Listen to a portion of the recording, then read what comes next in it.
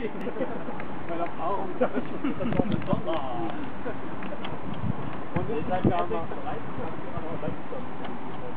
Ja, vor allem, die Hausmann ist jetzt